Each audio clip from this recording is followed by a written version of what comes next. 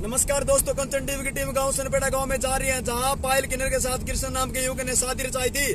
आखिर मामला है क्या? आप कृष्ण से ही जानेंगे आखिर राज क्या है। हम तो अपना राजीनामा चाहते हैं अपने घर में रहे वो अपने काम पे रहे हम अपने काम पे रहे। कोई कार्रवाई नहीं चाहती? नहीं जी हम कोई कार्रवाई नहीं चाहते।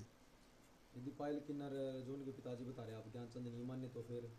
तो जी ना मानेंगे तो जी मनाओगे जी उनको। हम उनके पैर पकड़ेंगे खुशामंद करेंगे। मेरा समाज है मेरे साथ। मेरे बच्चे हैं हम उनके सब पैर पकड़ेंगे।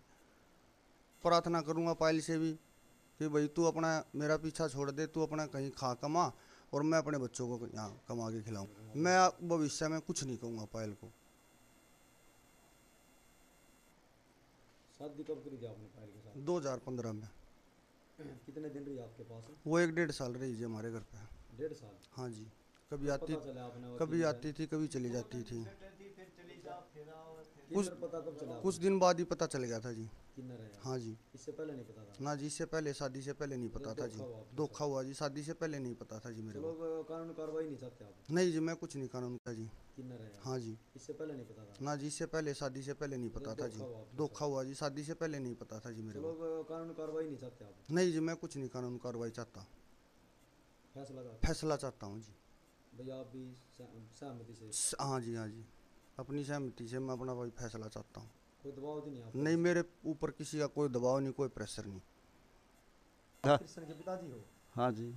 कृष्ण के पिताजी हो हाँ जी। क्या नाम आपका? मामन। मामून क्या कहना चाहते आप? लड़के राज़ी को वो नहीं करके राज़ी। हमने किए है। उड़ गए अपना फैसला चाहे हैं। गलती जो हमारी होगी तो हम अपनी गलती माफ़ माफ़ ये देख ये गरीब हालात है कृष्ण है जो मनपेड़ा गाँव का युवक है जिनकी शादी हुई थी पायल किन्नर के साथ जो कलानौर का रहने वाला पायल किन्नर है। घर की लात भी काफ़ी नाजुक है। कहीं ना कहीं ये भी बच्चे हैं इसके दो लड़के हैं। और ये कह रहा जी मैं कुछ नहीं कानून कार्रवाई चाहता कि फैसला चाहता हूँ। अब इसके लड़के बच्चों से बच्चे कहाँ भाई इसके? भाई राम राम। क्या नाम तेरा? प्रिंस। प्रिंस कितने साल का हो गया? पंद्रह। पंद्रह साल का। कितने दिन रहे आपके पास जो पायल किन्नर है? कितने दिन रहे थे आपके घर पे? यहाँ वो यहाँ पर रह नहीं थी अच्छा कुछ ऐसा पता चला आपने भाई किन्नर है ये जैसे आपके पापा बता रहे मेरे साथ धोखा हुआ कुछ पता चला था आपने किन्नर है या ना हमने पता चला जी जी आपकी मम्मी कब गुजरी थी क्या नाम है निशांत आपकी मम्मी कब गुजरी थी 2012 में दो भाई हो आप हाँ किस के लड़के हो हाँ। छोटे हो बड़े हो बर्थडे 2012 मम्मी गुजरी थी हाँ बीमार थी? जल गई थी। सिलेंडर वो हो गया था। अच्छा अच्छा। तो कितने दिन हो गए थे मम्मी गुजरे हुए? जब पायल किन्नर है जो शादी करके ले आपके पापा जी कृष्ण कितने दिन हो गए थे आपकी मम्मी को गुजरे हुए? चार पाँच साल हो गए थे। चार पाँच साल हो गए थे। जी। ये कैमरे में आप देख रहे हैं जो फ़ोटो है? आप देख रहे हैं जो एक एक महिला ये बुज़ुर्ग जो उर्ली वाली है सफ़ेद चुन्नी है ये हैं कृष्ण की पत्नी। जिनका स्वर्गवास हो चुका है तकरीबन कितने साल हो गए जिनको गुजरे दो 2012 में। 2012 में। तकरीबन कितने साल हो गए आज? आज दस साल हो गए करीब। दस साल हो गए करीब। और दोबारा पूछना चाहूँगा कृष्ण आपसे कोई कार्रवाई नहीं चाहते नहीं जी मैं कोई कार्रवाई नहीं चाहता मैं अपना फैसला चाहता हूँ जी। जी। हाँ जी। किसी प्रकार कानूनी कार्रवाई? ना जी कोई नहीं कौन कानून कार्रवाई चाहता मैं। रहा हूँ जी माफ़ी मांग रहा हूँ। ना मैं कानून कार्रवाई करने में समर्थ हूँ इसीलिए असमर्थ हूँ। जो मेरे तक गलती हो जो मेरे से गलती हुई है उसके लिए मैं क्या नाम अपना? भीम सिंह है भाई। क्या लोग आप कृष्ण के? चाचा लागू हूँ भाई। अच्छा। लगा रहे भीम सिंह की मामला है जो ये। इसमें अब कृष्ण। कृष्ण का और पायल का जो मामला है हाँ जी। हाँ जी।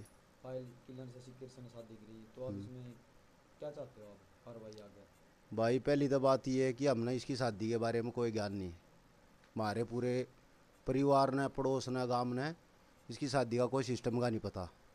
क्यों करा रही थी क्यों करनी? यही न सोची थी रोटी राटी पोड़ न मिल जाएगी। नहीं नंबी।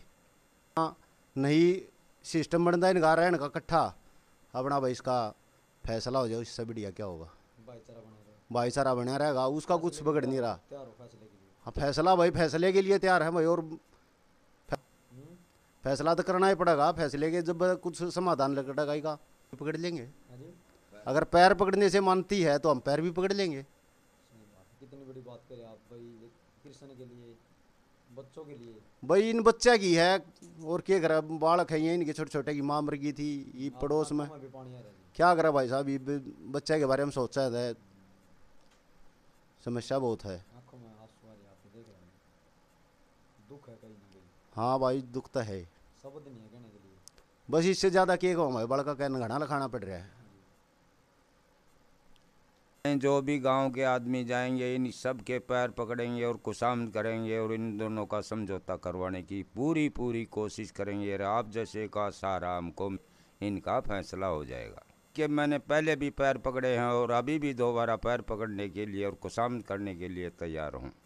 ये कहना चाहूँगी जो गलती हो रही है उससे अपना समझौता हो जाए